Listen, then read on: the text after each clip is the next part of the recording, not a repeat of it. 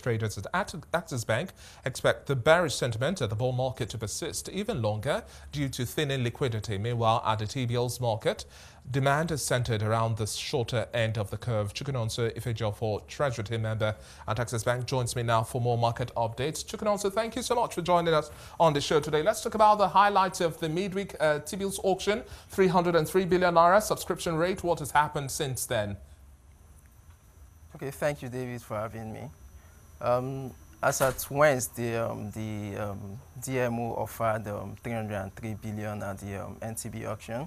Um, it is worthy to note that 303 billion was the same amount that matured. At the auction, subscriptions stood at 1.5 trillion. we saw bids skewed towards the 364-day maturity. And at the close of the auction, we saw uh, we saw the rates close at um, inch up higher by 19 basis points, um, 210 basis points and 467 basis points for each of the standard maturity. That is for the 91 day, 182 day, and 364 day of maturity. And so rates closed at 5.9%, 8%, and 13.97%. Um, um, Post-auction activities were muted um, because of the thin system liquidity that persisted. But um, as at yesterday, we saw interest coming back to the market. the activity, market participants started showing bids, and we saw bids for the long-dated bills at around the 12 to 13 percent and um, what we are expecting, we are expecting the FAC inflows today, and uh, with um, the inflows, we, we, we, do expect to see a, a change in the trends. Mm. And we're expecting the FAC inflows, like you've highlighted, to come in today. But in terms of what to expect in the coming week, what should we have our sights fixed on? Okay, um, with um, the um, FAC inflow coming in today, um, we expect the, um, the, um, the markets to trade uh, more actively.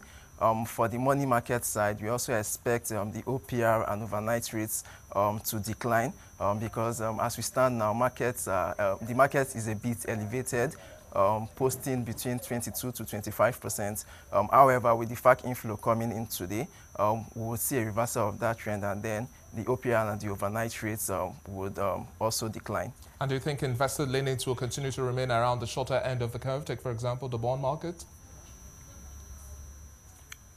Okay, um, so for um, the bond market, um, interest has um, interest remained uh, muted after the auction, as uh, market participants' um, focus has um, been on the um, NTB.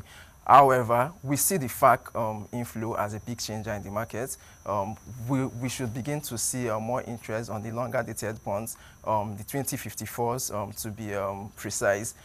currently, the rate has hovered around the 15 15.9 to 16% annual. Um, but with the FAC inflow, we believe that um, there will be a change and then um, markets should trade more actively. Chukwunonso, thank you so much for your time on the show today. That was Chukwunonso Ifejiofor Treasury Team Member at Access Bank.